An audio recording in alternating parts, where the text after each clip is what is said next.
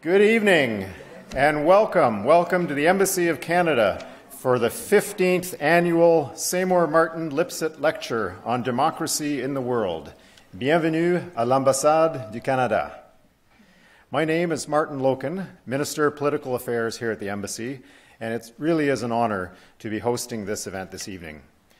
Among our many distinguished guests, I would like to recognize and thank Sid Lipset for joining us this evening.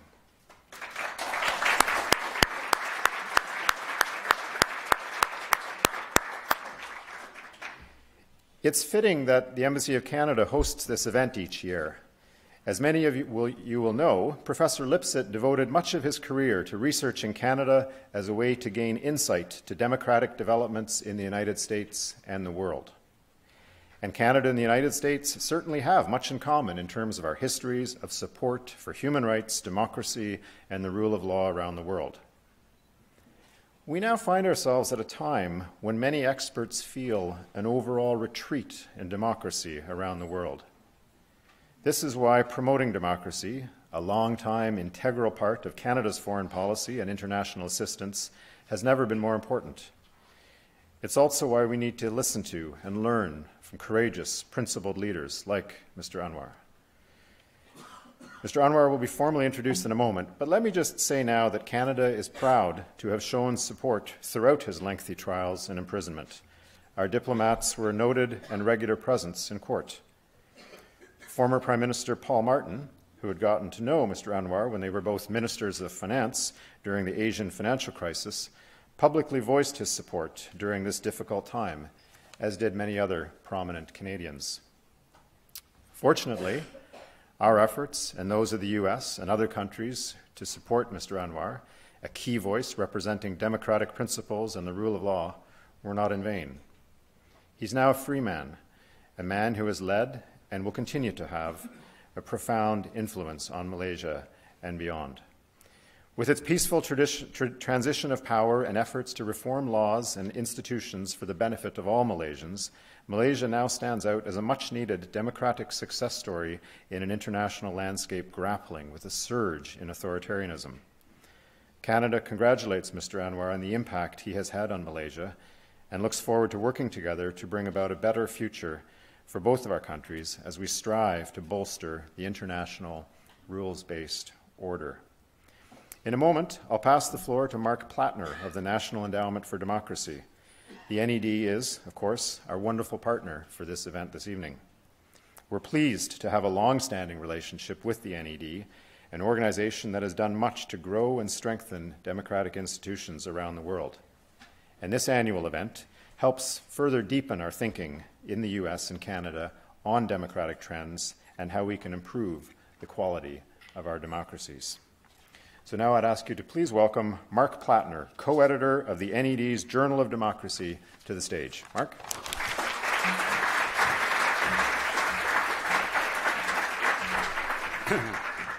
Uh, thank you, Martin, for those uh, generous words. Uh, and it's my pleasure as well to welcome all of you tonight on behalf of the National Endowment for Democracy. This is the 15th annual Seymour Martin Lipset Lecture on Democracy in the World, a program that now has had a long and distinguished history. Uh, the annual Lipset Lecture is given twice, once in the United States and once in Canada. Tonight's Washington lecture is a joint project of the National Endowment for Democracy and the Canadian Embassy, which provides a splendid auditorium in which you're now sitting and host the reception that will follow. Later this week, our speaker tonight, Anwar Ibrahim, will travel to Canada to present a version of his lecture at the Munk School for Global Affairs and Public Policy of the University of Toronto.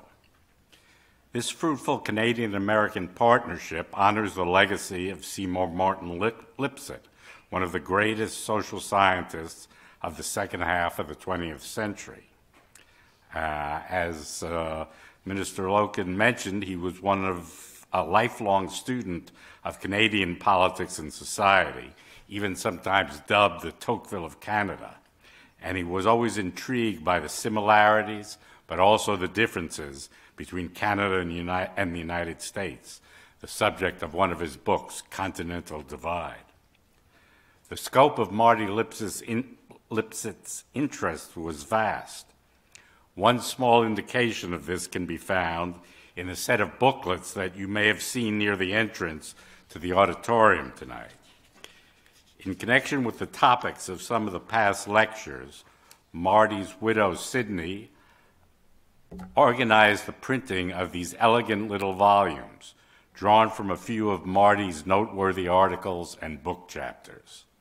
Their titles Some Social Requisites of Democracy, Anticipations of the Failure of Communism, The First New Nation, Racial and Ethnic Conflicts, a Global Perspective, and Democracy and Working Class Authoritarianism uh, reveal the scholarly range of Lipset's work, as well as the diversity of topics that's been covered in this lecture series.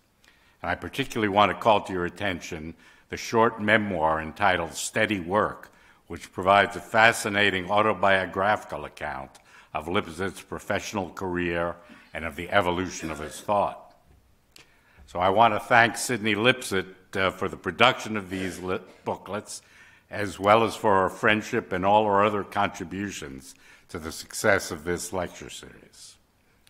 Others who deserve thanks for their role in tonight's event, including those at the Canadian Embassy, Martin Loken for his opening remarks, his colleagues, especially Victoria Benner and Adrian Rooney, and National Endowment for Democracy staff members Melissa Ayton and Andrea Blazanovich. We're extremely grateful for the generous support of the Johns Hopkins University Press, which publishes the endowment's Journal of Democracy.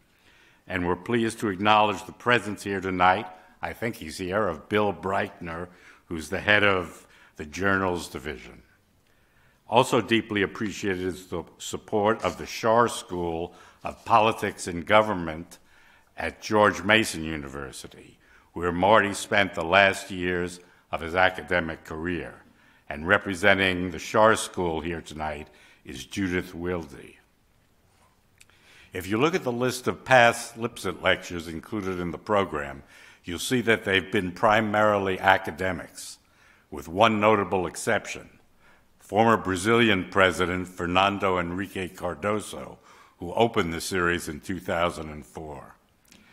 This year, we've again turned to a leading political figure as our speaker Malaysian parliamentarian, party leader, and likely future Prime Minister Anwar Ibrahim. Anwar also has been a visiting professor at Georgetown, at SAIS, and at Oxford University, and he's written widely on key issues of democratic thought. In fact, we've published him twice in the Journal of Democracy, including a very impressive essay he wrote in 2006 entitled Universal Values and Muslim Democracy. One drawback of inviting active political figures, however, is that their schedules are very unpredictable. For those of you who may have wondered why the Lipset lecture was not held in the fall as usual this time, the answer is that it was originally planned for that time of year uh, but had to be postponed because of the vagaries of the Malaysian parliamentary calendar. We're confident, however, that Anwar's talk will prove to have been well worth waiting for. And now I'm pleased to call on NED President Carl Gershman, who will have the honor of introducing his longtime friend Anwar Ibrahim. After the lecture, I'll return to the podium to moderate the question and answer session.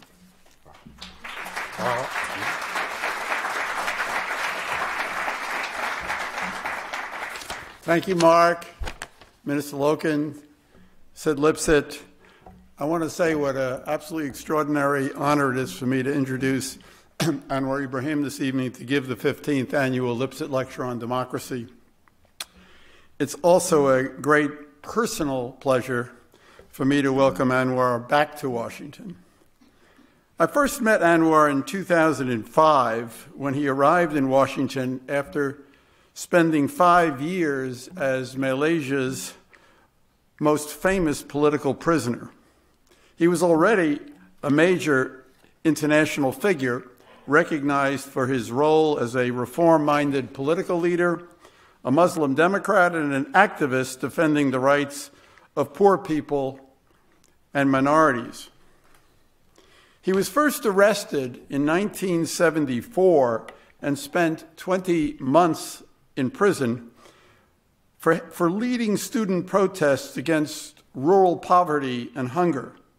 He headed the Muslim youth movement of Malaysia back then and co founded in 1981 the International Institute of Islamic Thought. His career took a dramatic turn in 1982 when he joined the ruling UMNO party that was headed at the time by Prime Minister Mahathir bin Mohamad. Anwar's star rose quickly as he was appointed to a number of government ministerial posts, including Minister of Education. He was made finance minister in 1991 and became Mahathir's deputy prime minister two years later. He was credited with promoting market reforms that spurred Malaysia's rapid economic growth in the 1990s, and he was hailed for successfully guiding Malaysia through the Asia financial crisis of 1997. Asiamoney named Anwar Finance Minister of the Year in 1996, and he was Newsweek's Asian of the Year in 1998. But Anwar's political fortunes soon changed when he launched a bold attack on the culture of cronyism and nepotism within the UMNO coalition and also challenged Mahathir's protectionist policies. He was fired from the cabinet and then arrested, beaten, and sentenced to prison on trumped up charges of corruption and sodomy. Almost as soon as Anwar arrived in Washington in 2005, after his release from prison, he became a core member of our community of democracy intellectuals and advocates. He spoke at numerous forums that we organized here in Washington, in New York, and abroad. He wrote two articles, as Mark said, for the Journal of Democracy. He gave keynote addresses at two global assemblies of the World Movement for Democracy, one held in Istanbul in 2006 and the other in Jakarta in 2010. And he delivered an eloquent talk at a symposium we held at the Library of Congress in 2007 on the occasion of the 25th anniversary of President Reagan's Westminster address that launched the creation of the National Endowment for Democracy. In all of these speeches, Anwar defended the universality of the democratic idea and systematically refuted the various doctrines that were circulating at the time, making the case for authoritarianism.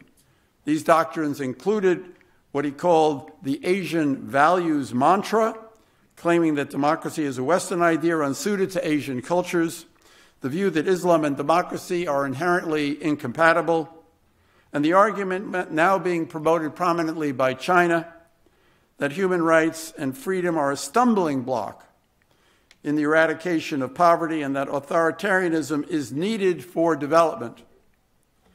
Democracy, Anwar said at the Library of Congress, is not about the choice between starvation and freedom. It is about the freedom to overcome poverty and tyranny without compromising in the struggle against either. Anwar has always been prepared to pay the price for his beliefs. After the opposition coalition that he led was denied vic- the victory it had won in the Malaysian general election of 2013, Anwar vowed to lead a fierce movement against election fraud and to reform the country's electoral system. As a result, he was once again sentenced to prison. Anwar didn't mince words in his statement that he made to the judges after the verdict was announced.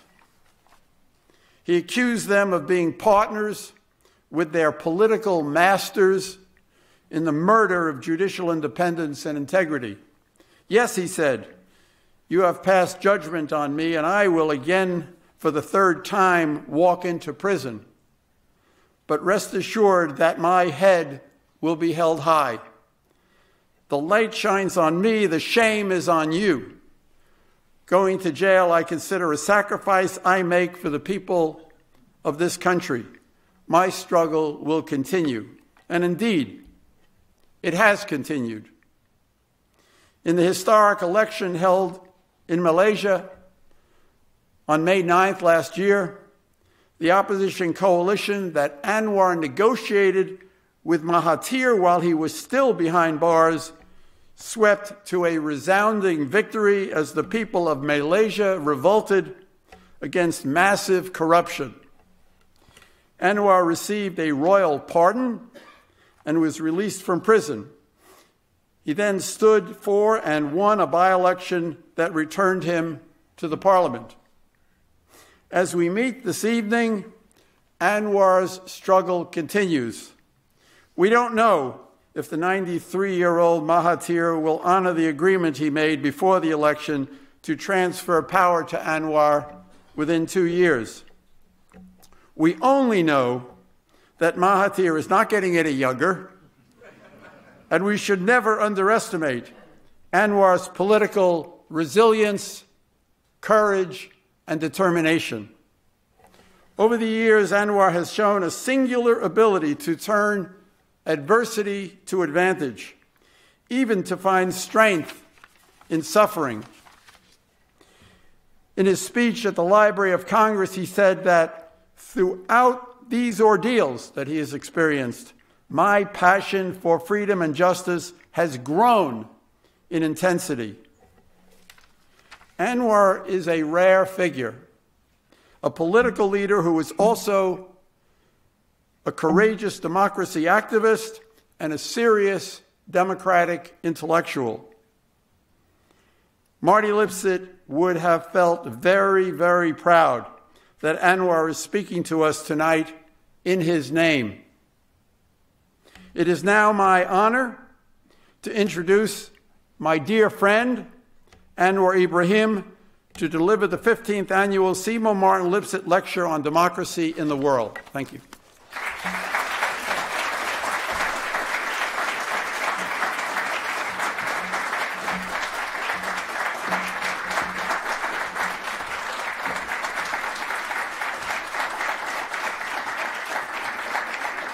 Thank you, Mr. Martin, Sid Lipset, Carl, and friends. Uh, it is a rare privilege and honor accorded to me and uh, democratic democracy activists in Malaysia throughout the developing the Muslim world. And I must express my profound gratitude, thanks to the Canadian government and Carl and the National Endowment for Democracy for the untiring, relentless effort to support democratic transition and efforts throughout the world. I am a student of history and social science, and um, said, may I state to you that uh, Simon Lipset is not only known throughout Canada and United States of America, uh, uh, the concerns of Simon is not just as an academic. I would consider him even as a public intellectual because the issues that he propounds are with strong passion against injustices, authoritarian rule, and dictatorship. So let me begin with a passage from a novel that was written in German but was first published in English. The original manuscript was thought to have been lost during the writer's escape from Paris in May 1940 just before Nazi occupation of France. Our press and our schools cultivate chauvinism, militarism, dogmatism, conformism, and ignorance. The arbitrary power of the government is unlimited and unexampled in history. Freedom of the press, of opinion, and of movement are as thoroughly exterminated as though the proclamation of the rights of man had never been. We have built up the most gigantic police apparatus with informers made a national institution and with the most refined scientific system of political and mental torture. We whip the groaning masses of the country towards a theoretical future happiness which only we can see. Darkness at Noon, Arthur Koestler. An authoritarian government may be defined by a strong central political power with economic power concentrated in the hands of the few. Fundamental liberties are subordinate to the state, and there's minimum accountability and transparency, if any, in governmental action. There may be written or in existence a written constitution. Bereft of a truly independent judiciary, however, there is no guarantee of the rule of law or the protection of political freedoms. Such a state is structured to have a low tolerance to civil society or dissident political parties and interest groups or any other force deemed to be capable of mobilizing opposition against it. Technology and science, you'd find, are utilized by the state as instruments of control, manipulation, and intimidation. It is not for me to name which country fits this description, but I'm sure we know there are many. There are also many countries that will reject the label. For one, they will lay claim to be a democracy on account of participation via elections. Granted, that is a starting point, but democracy must be seen more deeply for the qualitative characteristics. There must be some level of equality to create a level playing field. Competitive politics must entail fair access to all parties to the media and avenues for campaign publicity. There must be electoral accountability, regular free and fair elections, which is an impartial, independent electoral commission and unfettered access by all citizens to the ballot box without fear or intimidation. There's also a problem of extreme inequalities in income and knowledge that will favor the perpetuation of the incumbent powers. It is paradoxical that an illegitimate regime gained allegiance among the disadvantaged group by simultaneously exacerbating their need and meeting their demands. This is part and parcel of exploitative politics as practiced by incumbent governments to cling on to power for as long as possible. Economic policies are therefore geared towards creating extreme inequalities in wealth distribution so as to enable the powers that be to emerge as the people's savior, which they start when they start dishing, dishing out cash schemes and ad hoc economic plans. Now, confronting authoritarianism requires the existence of a fiercely independent judiciary to send a clear message to the other branches of government that the rule of law means legal and judicial processes cannot be used to further the political agenda of the ruling party or a particular personality. For a multiracial, multireligious, multicultural country like Malaysia, advancing constitutional rights and other legitimate demands and expectations requires great sensitivity and considerations in order to meet competing claims.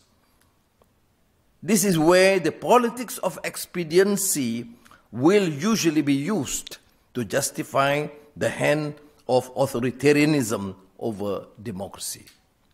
In this regard, John Rawls reminds us that despite considerable differences in citizens' conception of justice, there can still be consensus provided that these conceptions lead to similar political judgments. This is the principle of overlapping consensus, but the consensus can only be realized by the respective contending parties refraining from cantankerous and open disputes regarding race and religion. If by democracy we mean free market capitalism, inequality will be the inevitable consequence because competition naturally breeds inequality. The answer to this conundrum has to be from top down. No trickle down economics, as in the weak justification for so called collateral benefits from capitalist predators. It has to be social policy in the name of social justice and sustainability, albeit with free market capitalism. Let us be clear about what sustainability really means, lest we deceive ourselves into believing that implementing some greening initiatives means we have made it. A sustainable state is one which is able to provide the basic needs of all its people in such a way that future generations are not denied access to and benefit from a finite set of resources. Among those who look closely at the ebbs and flows of democracy, there's one fact about which there is general consensus that extreme inequality is incompatible with democracy. In this respect, Piketty's, Thomas Piketty's conclusions are difficult to dispute. It's an advantage of being in prison for a long time because this, we can digest these books better. that while raise, rising inequality is not the inevitable result of capitalism, the manner in which governments pursue growth and implement economic policy can either mitigate or exacerbate the problem. Confronting authoritarianism entails the creation of a system which controls, nay, overcomes the manifestations of capitalism, which show a lack of concern for the vast majority of the poor and the working poor from earnings gap between workers and executives, minimum wage, that dooms people to a generation of grinding poverty. The provision of medical benefits Better working conditions, financial assistance to workers' families will also be crucial so as to help define the appropriate distribution of the benefits and burdens of social cooperation. If we can no longer be naive about the contradiction between a development agenda that prioritizes growth but ignores inequality, then we must be progressive in the identifying the right policy regime that maximizes sustainability and distributive justice instead of maximizing profits and treating sustainability as a mere afterthought. Since the last two decades, the world witnessed a democratic recession. With the advent of globalization, free trade, the internet, and liberal intervention, the world was supposed to have witnessed the global spread of democracy. Fukuyama spoke of the end of history, extolling the triumph of liberalism over authoritarianism. Although I must concede Fukuyama's latest writings, political economy, takes a rather different, more positive outlook about the need for democratic accountability. But, but such optimism would have been justified by the advent of the Arab Spring, but for the fact that spring turned into winter of great discontent. The rise of right wing activism at the beginning of the 21st century is a perverse, bizarre, and deeply troubling recurrence of history. After decades, when generations assume continuing expanding horizons, the global economic crisis of 2008 was an abrupt shock. Since then, there has been an awakening to the stark reality that around the world, ordinary people are struggling to maintain a lifestyle on par with previous generations, while elites amass a greater share of the economic pie. And today, we witness that not only has history not ended, but there has been a revival of authoritarianism. A more insidious form marked by the resurrection of the ghosts of the past, made all more sinister because of the trappings of democracy. This descent into authoritarianism under the guise of popular democracy has taken on the eerie cadence and atmosphere not quite different from Dante's opening lines in the Inferno, where we have found ourselves within a forest dark, for the straightforward pathway had been lost. And indeed, this is a forest savage, rough and stern. But unlike Dante's fear, which will eventually find redemption, albeit many cantos later, we are caught in the grip of a self generated fear of the other. The powers that be question the motives, intentions, and aspirations of people deemed to be different. They are attempting to close borders and building walls of separation with a clarion call to rely on our own identity and to keep away disease in the myriad forms. The solace that people may find in demagoguery is certainly tied to their disdain for a government that has failed to meet the overall needs of the people. In this sense, we must accept the reality that unfettered capitalism can sow the seeds for the unraveling of society unless these pernicious forces are challenged. With xenophobia, ultra nationalism raising their ugly heads, we see the anti immigration discourse transmogrified into racism and the sowing of religious animosity and communal hatred and incitement for violence. I made a call recently at an international forum in the world's largest democracy, India, and I believe it bears repeating. The resurgence of ultra nationalism is a global phenomenon. It's a precursor to fear and a pre- present danger to global peace and security. Extreme identity politics and polemics contribute to the conditions in which the seductive call to violence festers. We must unequivocally reject it. Well, fortunately, today, I stand before you representing a nation that has rejected it. On May 9, 2018, the people of Malaysia, Muslims, Christians, Buddhists, Hindus, enemies, stood shoulder to shoulder and decisively voted out a regime that has ruled the nation for more than six decades. Indeed, the pen is mightier than the sword, as attested to at the 14th general elections, where Malaysians from all communities, cultures, and faith chose to vote into power the alliance of hope Pakatan Harapan, setting a new dawn for Malaysia.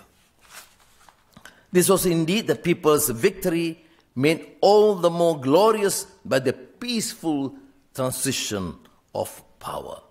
Unprecedented in recent times because we crossed the Rubicon court, Rubicon without a stone being thrown or a shot being fired. despite political pundits and doomsday prophets of the world over who predicted communal violence and chaos in the unlikely event of a new alliance winning the elections. They were proven wrong, thanks indeed to a very firm and consistent position on communal, cultural, and religious inclusivity. It is a clear policy. Reject all forms of extremism and fanaticism, racism and religious bigotry. Celebrate diversity and foster communal and religious harmony. More importantly, we offered something fundamentally different and markedly better than years of race baiting, corruption, and political decadence. That this change took place in a majority Muslim country is a remarkable development, both in the light of the failure of the Arab Spring, but also in response to, to accusations of the incompatibility between Islam and democracy and the spread of Islamophobia. Nevertheless, even as the new government is doing its best to meet the legitimate expectations of the people, there are still those who would want to see us fail. There must therefore be no let up in our efforts at institutional reforms. Confronting authoritarianism means ensuring greater protection for political freedom, dynamic exchange of views, further improvement and empowerment of women, and proactive social justice agenda. Above all, good governance must remain the touchstone. It is true that conventional view on government legitimacy tend to put the emphasis on democratic rights, but general governance has emerged to take precedence. No one is suggesting that democratic rights are not essential, but their efficacy is preconditioned on good governance. Governance, therefore, must go beyond mere democracy and accountability. Here must go beyond mere electoral accountability. As Robert Dahl reminds us, there must be a constant capacity of the government to satisfy the citizens, who are considered politically equals but executing the policies that correspond to their preferences. Solving a country's governance is therefore the key to attain quality democracy, and this takes precedence over the economy. Their view is that economic development without an equal economic and political playing field will be useless. Where massive corruption is not resolved, high economic growth will not be able to strengthen democracy. In fact, it will almost certainly lead to the erosion of rights and an increase in inequality.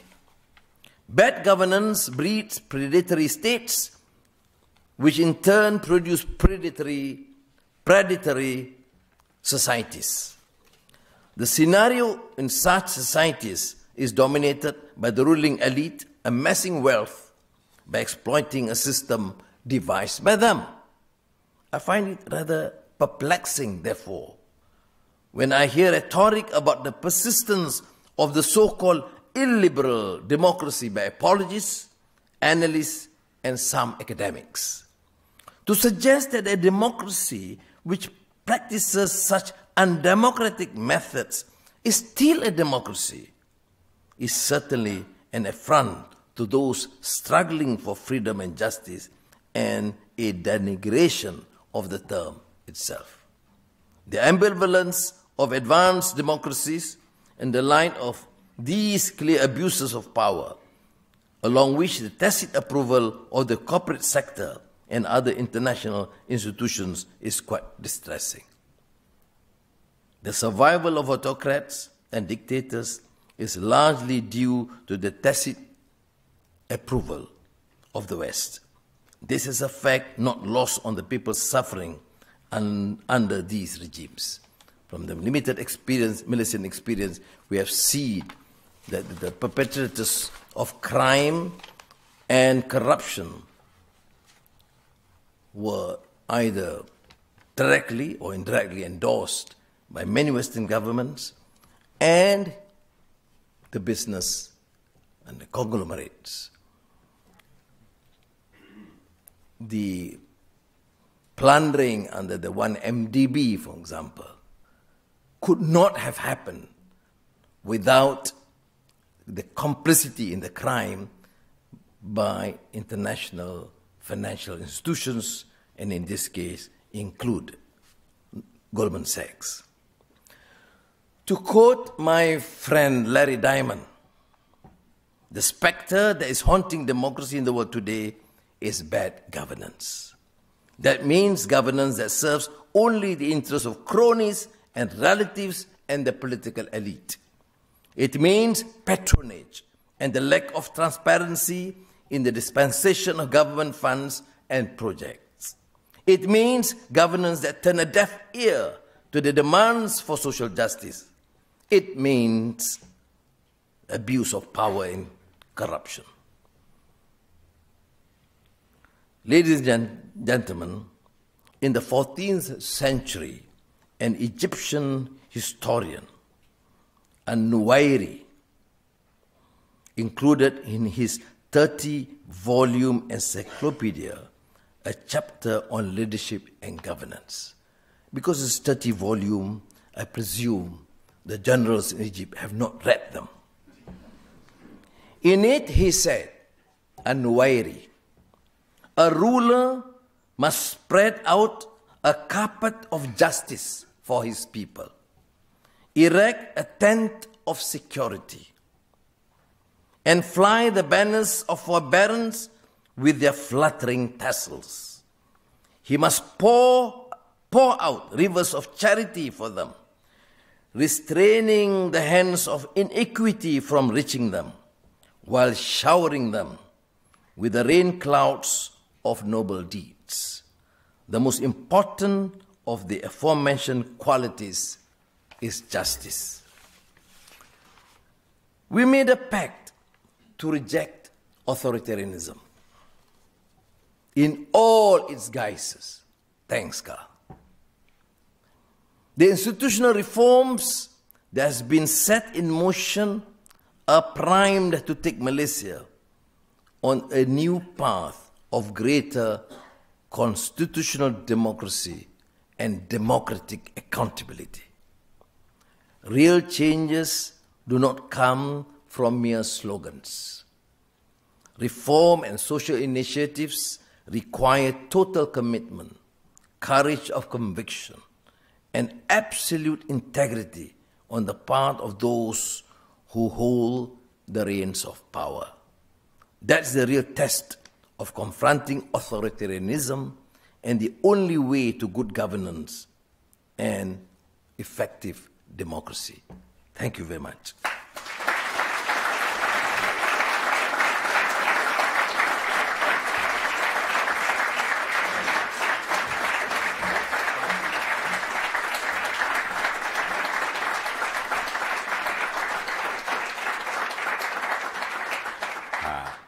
Thank you very much for that eloquent uh, speech. We now have some time for questions and answers. I think we should have microphones set up on either side of the room, and please, if you have a question, line up there. Actually, because of the lighting, it's a little hard to see. Um,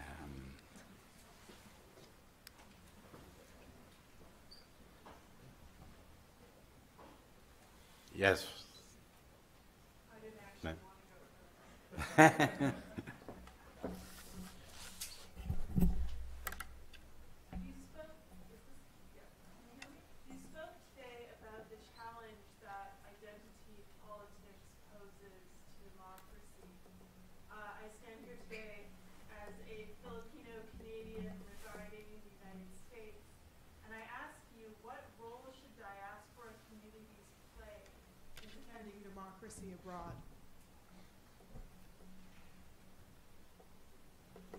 democracy abroad? On response? Or immediate response?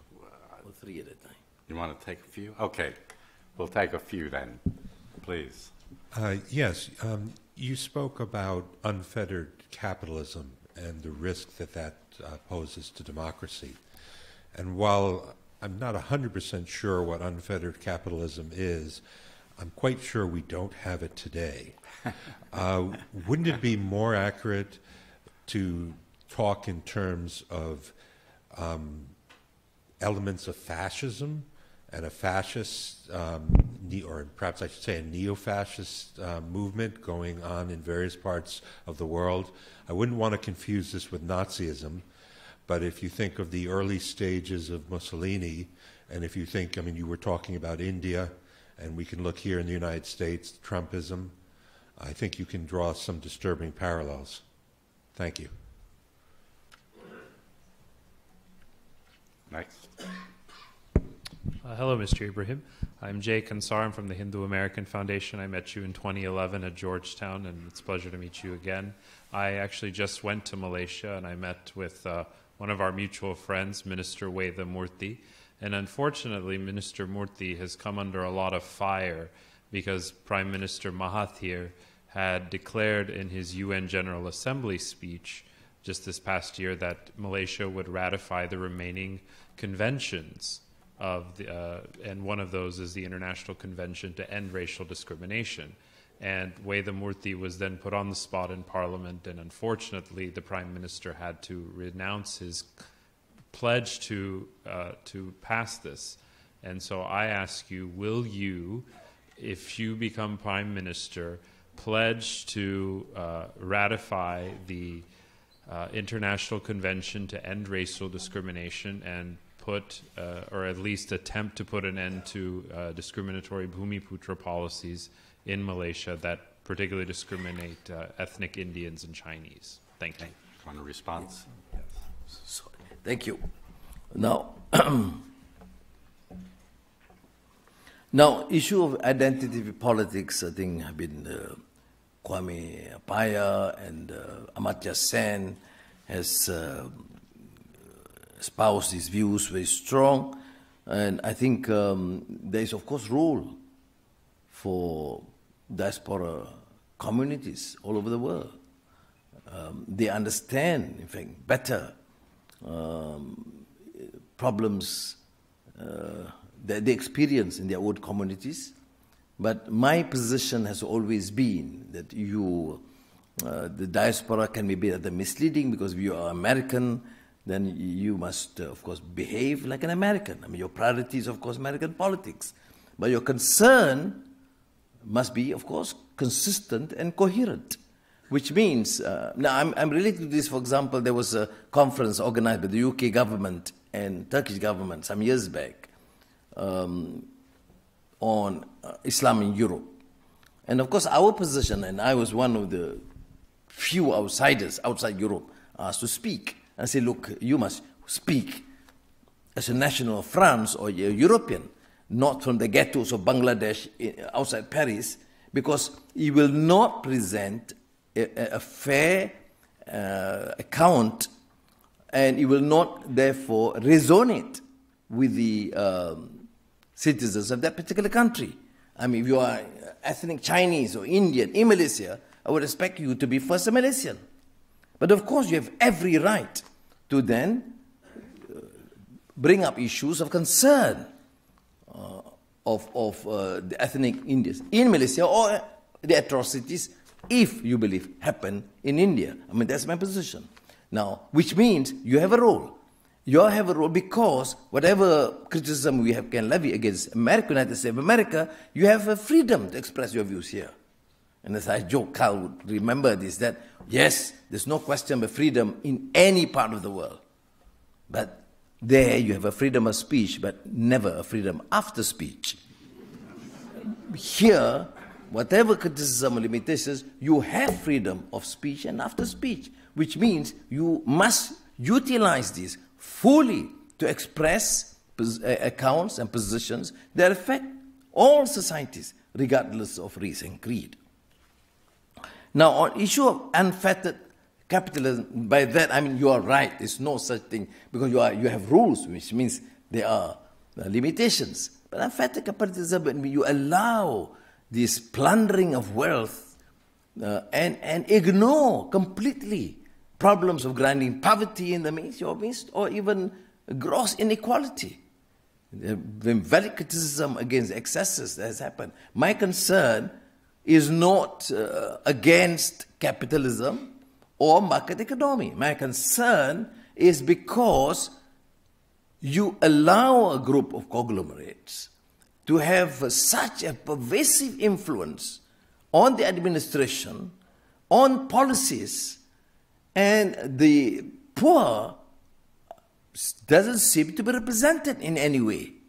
Policies always benefit the rich and the famous in the name of democracy or other uh, belief system. Now, the third question, uh, now, um, right. So, so the issue of um, elements, yes, of fascism, of course, is a growing concern. That's why I take great pride.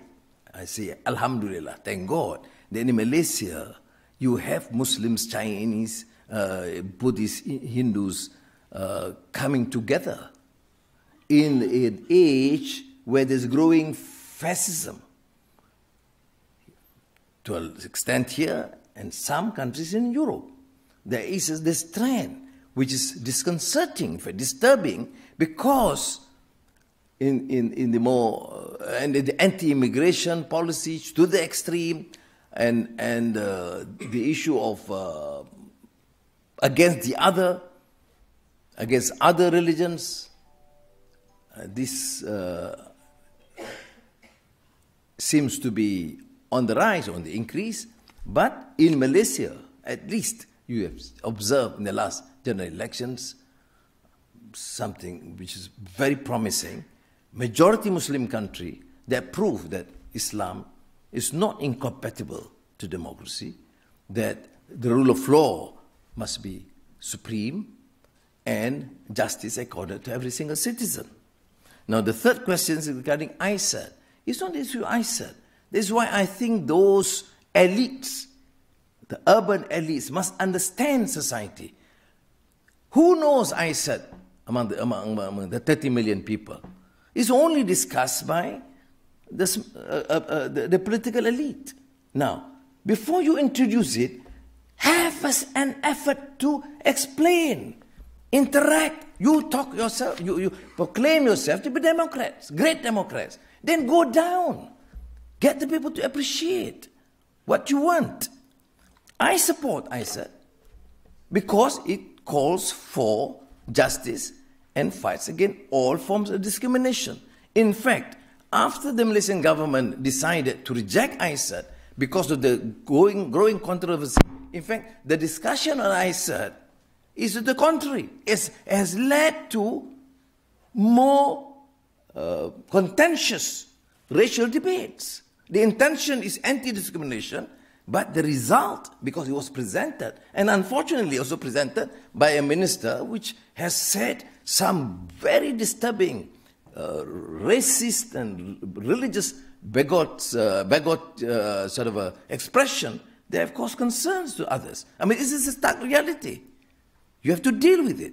You have to get um, uh, a, uh, to, I mean, before you uh, enter or decide to have that, you have to explain. I move a motion in Parliament after the government rejected it to say, number one, Malaysia must remain committed to reject all forms of discrimination against race, religion, gender, and even regions, because the issue of regions becomes quite an issue. So the rejection is only on the issue of giving time and space for people to deliberate further.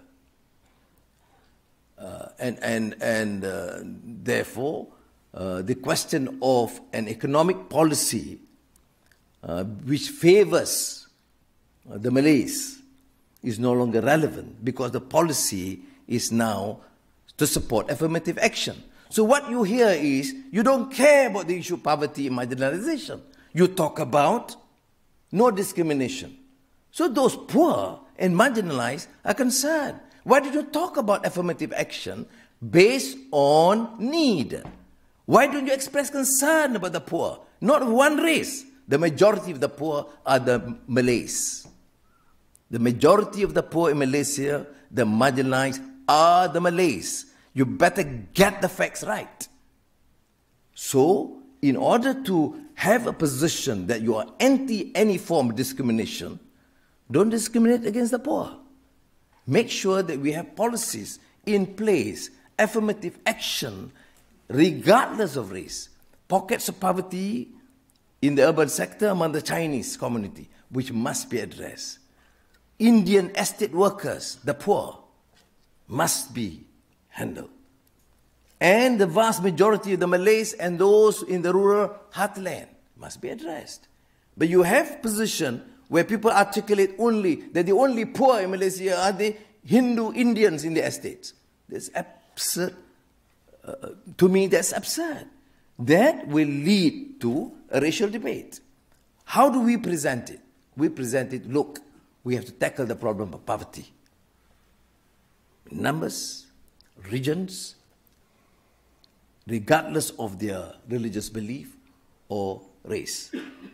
This must be, to me, pronounced. Otherwise, there is now a new sense of insecurity among the majority who are poor. So I think it is a matter.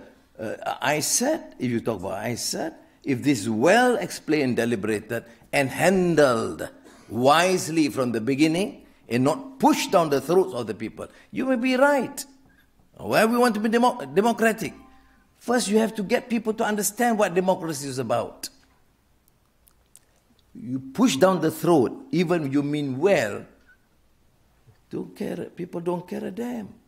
You know, in 2008, I remember the more, uh, should say, uh, the, the elite within my party, we talk.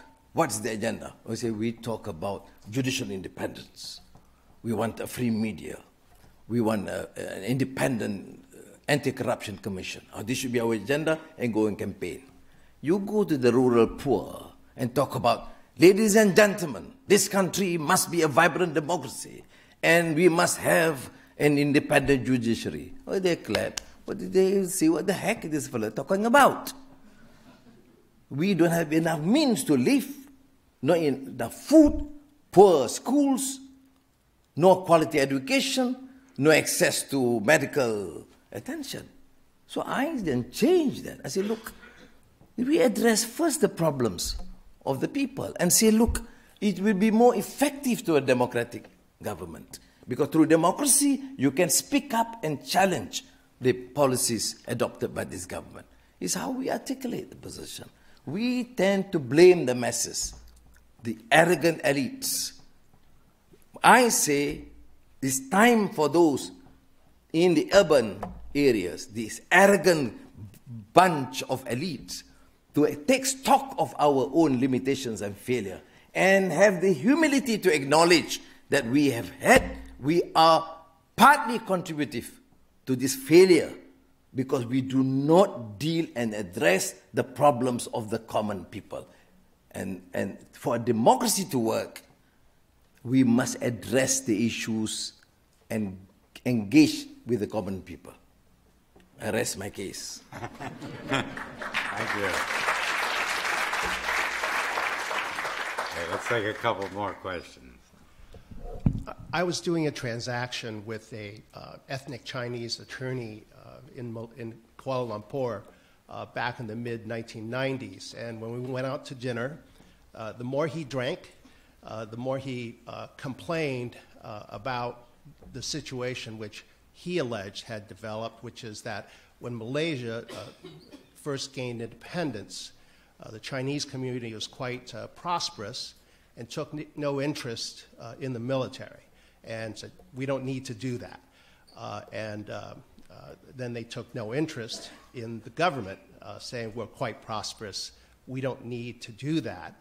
And his claim was that after several decades, um, a number of um, unfortunate situations uh, had been imposed uh, on the uh, uh, ethnic Chinese community uh, in Malaysia, I said, Well, um, uh, did you see the, uh, the uh, attorney in my firm? I don't want to work with him, but I have to have him uh, in my firm. Uh, there are quotas uh, in the education system, and he cited several other things.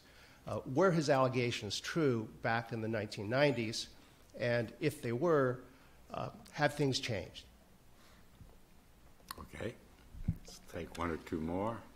I have a, just a very brief question based on the for the second question. I think um, fir- one of the things you mentioned was uh, the fear of of unfettered capitalism, which I sympathize with. However, um, based on ac- activities in the region of Malaysia uh, and the Chinese government continuing to expand their uh, economic projects there, what would you say is the the right balance between making sure that uh, human rights are sustained and working with the Chinese government on uh, initiatives such as the Belt and Road Initiative. Take one Hi, more. I'll be brief. Um. I understand that in the March April parliamentary session, the repeal of the Sedition Act will be coming up. I was wondering if you could comment on your views on the Sedition Act and also on the repeal of the death penalty. Thank you. Uh, thank you. Getting more difficult.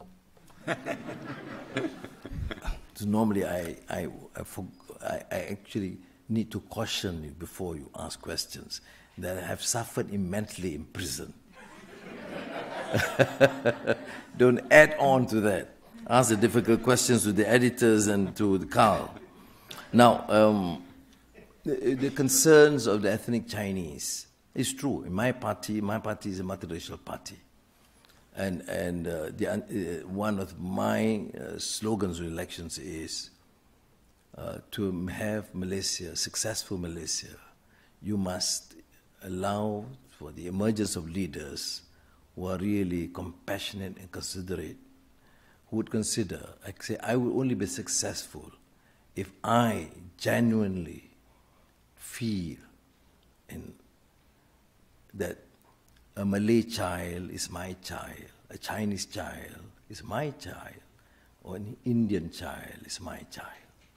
That we are, after all, one big family, woman to Sir Ichiaran. Um, that is, can be a slogan, but it's appealing because people expect this. That to, to, to see this new change, gives a sense of confidence. But it's not only a Malay problem. Some of the policies, for example, that favors the Malays in the common service. But you have also big Chinese conglomerates. They ignore the presence of other races. So the Malay reaction would be, right, you complain about Malays in the civil service, but you don't care at all the fact that they are no, no Malay in the private sector, in your companies. And those employed in the private sector are much more. I would say, therefore, now, let us create this new awareness and sense of confidence that we should behave and act as Malaysians. Support meritocracy, fair, but there must be also affirmative action because a rural school in Kapit, Sarawak cannot compete with a school in the capital city of Putrajaya or Kuala Lumpur. So you must have that sense, and I am optimistic that if we do dispense with justice, we will be able to resolve. The key term is still justice, and justice, according to Rawls again, is justice is fairness. You allow for opportunities for the poor, for the rich, and the marginalized to be able to participate and compete. Now, but having said that, you must remember that there's a change of government and change of policies. Now, without explanation, now instead, of, and I said this in our um, party convention of the Alliance of Hope, I said, prior to the elections, we should address the concerns of the minorities. Post elections, the Malays are feeling insecure because they say that uh, all our policies to favor the Chinese and the Indians. You can sense. So we will have to deal and navigate this to ensure that we are fair to the Malays, the Chinese, the Indians, and all the communities. We cannot just uh, ignore these. Uh, if there are legitimate concerns, that we have to address. But the policy is no longer race based. There's no way we should turn back. The policy must be based on needs, and it cannot turn back to the obsolete policies of the past. Now, uh, issue of uh, unfettered, un- unfettered capitalism and uh, projects with China. Projects with China, we encourage trade and investments with China, as with, with the United States in all countries. But we have had, unfortunately, some bad experience in terms of the mega projects with the Chinese. So, uh, Dr. Mahathir, as the Prime Minister, announced that we need to renegotiate or even cancel if we find and deem that these projects dubious or corrupt. So uh, that is the stage now. Do we then stop engaging with the Chinese? No. Do we then discourage investments with the Chinese? No.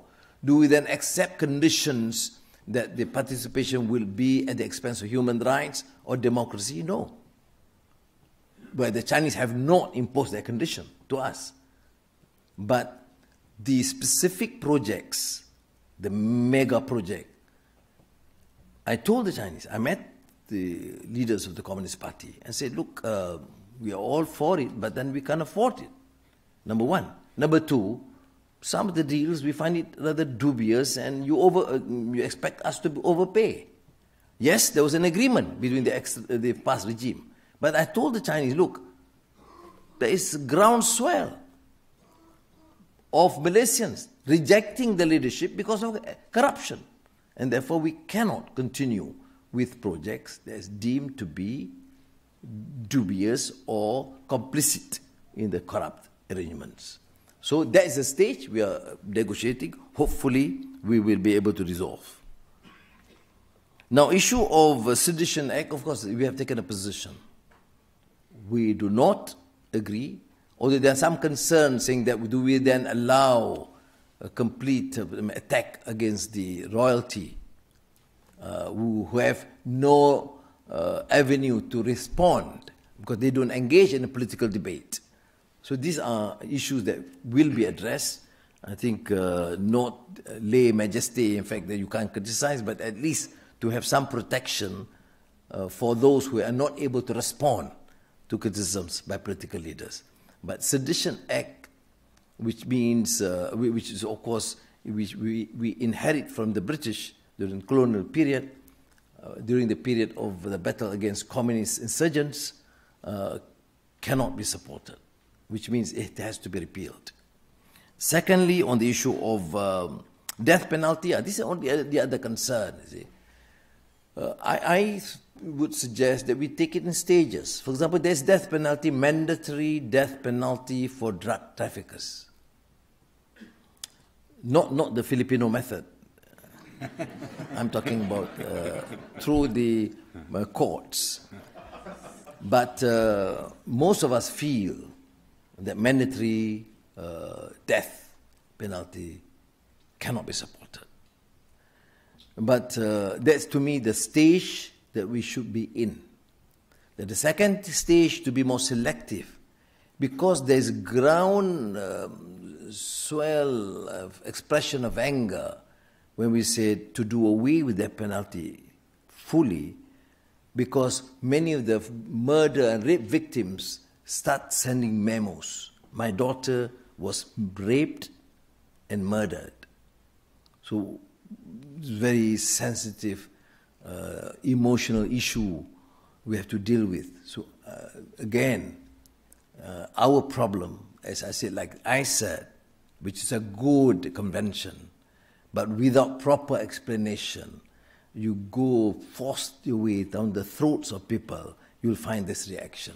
So, from the experience of ICERD, we realize that there's a need to go back to the people look, for drug addiction, there should, should be a general consensus support. Although some have strong views, they say, look, you say it's not murder, but you uh, provide um, uh, some big business cartel on drug uh, trafficking, then you indirectly kill people. That's one argument, we dispute that. So our position is for this we should repeal the uh, mandatory uh, death sentence. But for some specific areas like rape and murder, we say, okay, we'll do it second stage and look at the intricacies of the law. I think as long as we progress in that direction, not to dictate of some one or two civil society organizations or capitals of the West, I don't think that should be a mechanism. We should understand and appreciate the sensitivities of our people as long as we move forward at stages. For example, parliamentary session goes every other every quarter or no, no five six sessions a year. Next session, sedition and death penalty for uh, to repeal the death penalty for drug trafficking, and we still have an August session, a November session, and I don't think that in one session we should repeal all the laws without proper effort to disseminate information and to engage the people. Sometimes I have a problem because dealing with this question because we talk, uh, I mean, we, we believe in democracy. Uh, we talk about uh, aspirations of our people. But who are the people? We. Who decide? We. I mean, it's a new form of uh, more sophisticated dictatorship. I think uh, we should have the humility to engage and discuss. Although issues like this is part of our manifesto, which we must move forward. I'm convinced that in many areas, death penalty must be repealed. That's my personal view. But I don't think that I would uh, give, in three months, I would repeal all of those. I would still want uh, town hall sessions, engagement with the people, and move progressively in that direction. Thanks. we only have a little time left. I want to also ask you to say a little bit more about the transition and why it was able to occur in such a peaceful way. There wasn't more resistance from those who lost. But let me, there are two people standing. If you could each try to make your question as concise as possible, and then we'll finish with uh, Anwar's replies to the three. Well, uh, my name is Dolkun Isa. I'm the Uyghur, uh, and from the World Uyghur Congress based, uh, based in Germany. Well, uh, we all know today China is most powerful uh, authoritarian uh, government, dictatorship government. Today, one to three million Uyghurs are in 21st century concentration camps are suffering. But most of some uh, world is silence, particularly Muslim world, still silence. Uh, uh, but your first uh, Muslim leader uh, speak out and right also Uyghur and the condemning Chinese policy towards Uyghurs. And yesterday, and uh, secondly, Turkish Foreign Ministry speak out, broken the silence finally. This all uh, very encouraged to the Uyghur people and it brings some uh, moral support. Uh, but still Excuse most me, of some I ask you to present yeah most of some muslim countries still silence you know the muslim leader very well than us what is the reason why they are still silent and uh, what we can do second question is what is your message if you meet xi jinping soon in future thank you And last one. Yes. Uh, Dato Sri, thank you so much for coming here tonight. My name is Peek and I'm from Malaysia, so it's quite good to have you here tonight. Um, my question is um, on um, part of Mahathir's book, uh, The Malay Dilemma. And one of the sections that he writes about is uh, about kind of this, this notion of the lazy Malay, the, na- the lazy native. And in one, one of the anecdotes that he gives or he alludes to is uh, uh, if there's gold in a kampung house, uh, a Chinese person will go and dig it down themselves and reap all the profits. But if a Malay person uh, finds it, then they'll hire somebody to do it for them. My uh, question for you is what is your response to that kind of uh, idea, and what is your, in your experience, your experiences um, as a Malay man and knowing Malay people, what is their true character? Um, just speaking to that, what the Prime Minister said. Thank you. Thank you. Now, um, I think uh, the issue uh, of transition, how is it uh, that it could happen in Malaysia, is not spontaneous. Um, I cannot claim that we began only in 98 with the Reformasi after I was uh, imprisoned. I think even the antecedents, people are more alert. Social media had role. Um, middle class elements and civil society played their role. Uh, in 2013, as you could recall, we um, garnered 52% of the popular vote and in electoral process that is clearly fraudulent. Fortunately, they did not learn from Iraq or Egypt those days because um, uh, there was a story in Iraq that um, during the days of Saddam, they went to vote. Then when they went back to the house, they told, this, this guy told the parents that, yeah, I voted against Saddam. So the parents said, you are mad. You know that we will not survive this. Can you, you, you will, uh, you have permitted a major blunder at our expense. So this young guy said, okay, mama, I'll make the corrections. He went back to the polling station and told the, the, the polling chief, uh, I made a mistake. I think I was confused. I thought uh, voting means this, then that. Uh, so what do you do? I didn't support Saddam. So what do you want to do? I want to support Saddam. Oh, just don't worry, we have corrected that. so, uh, so then, I mean, so that is what uh, elections is all about in some places. Uh, so in our case, went on. In, you remember, in, in 2013, we have had that. But we didn't have enough seats because of gerrymandering, etc., etc. But anyway, we considered after the big battle, we, I did consider. I said, look, we want a peaceful. Uh, we, the country must be peaceful. I don't want civil strife. All the, our initial decision. In fact, many of the younger, our younger supporters were very angry with me at that time. They wanted us to continue to oppose the government because they're not legitimate. But you know, we expect Muslim countries, they've gone silent. Even Western countries, because of a lot of interests, business interests in Malaysia. So they were also silent. But anyway, uh, that has caused this uh, activists and Democrats to work harder. And I say that you should not win in a particular constituency. If you win by 51% of the votes, you will lose. So we must make sure that the margin goes higher, must be 4 or 5% to register victory. And uh, to, uh, we did achieve that finally. But how, why is it that the leadership of the old uh, regime concede? I, should, I think we should grant them some, uh, how should I say, recognition because they tried. From what I hear, they did try. Uh, but uh, we were fortunate because the police and the army just decided to follow, respect the will of the majority. And uh, therefore, the transition was peaceful. Um, there were, of course, problems because the old uh, officers, the old loyalties were there, but it, no, it is not certainly a, a, a, a problem that could lead to uh, civil strife. And uh, Mahathir's experience also count in this accident. Um, it's not easy for me to praise him, but I think uh, uh, to do justice to the facts, he did uh, maneuver because I was still technically imprisoned at that time. I was not able to influence uh, the, the, direction, but he did. Uh, and, and that gives some semblance of confidence that this man had this experience at least in, to govern and give him the chance to do it.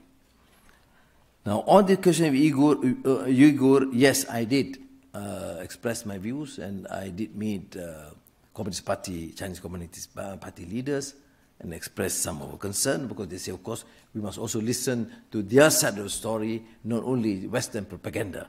I say I did not uh, express my views based on Western propaganda, but from the facts uh, from the meeting I had with Uyghur uh, leaders and representatives.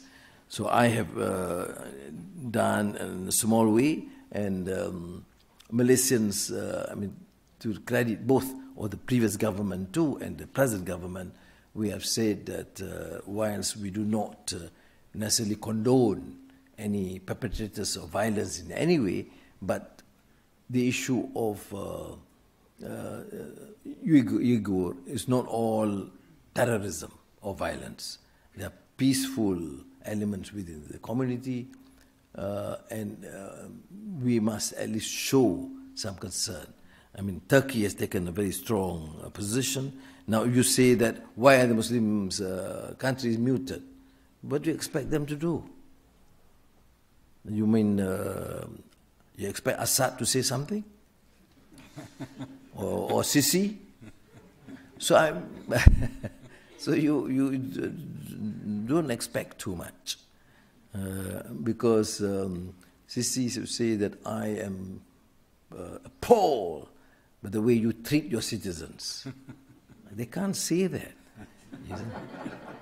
so, um, to my mind, you have to take a position, and we are appreciative of the fact that the United States and some Western governments have also expressed their views, uh, and, and we hope there's immediate amicable resolution to this conflict, that the Chinese will take into account the concerns expressed, not all by their political foes, but many of their friends in the region, to try and resolve this conflict.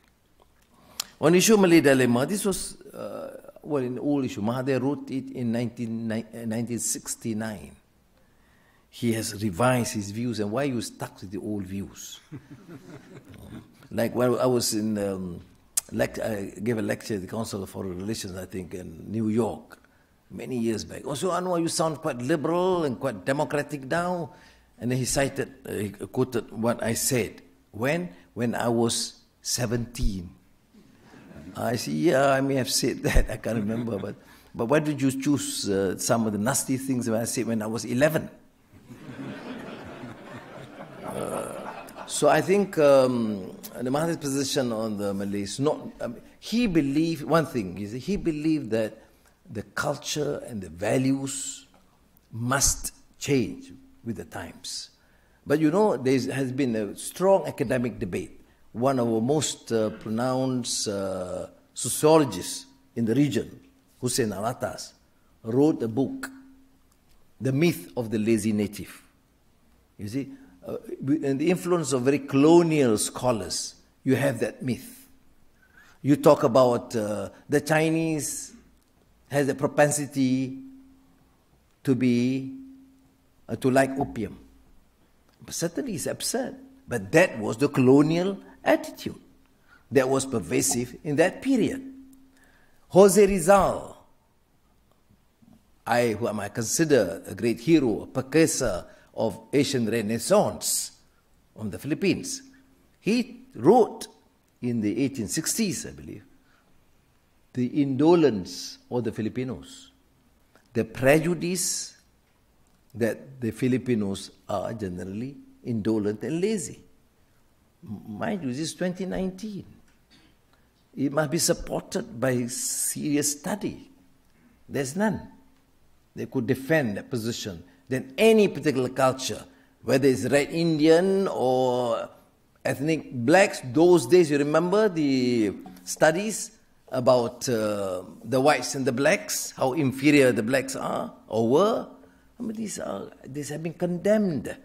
India, how the, the British look at the Indians, there have been studies on this to debunk that thesis.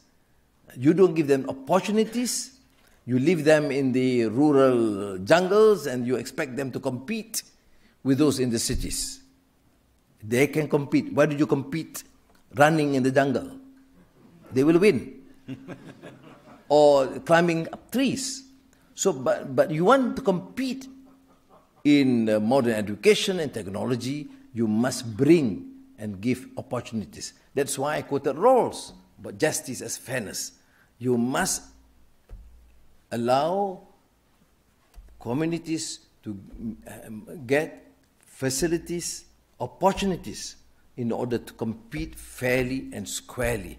So you have meritocracy one side, you have affirmative action on the other. Then there will be peace and harmony. I must thank you again Thank and you. thank you for this opportunity.